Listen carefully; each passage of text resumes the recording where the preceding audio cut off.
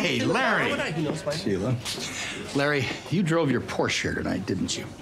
Yeah. Now, how would you like to trade that Porsche for a mint condition 1952 Mickey Mantle rookie card?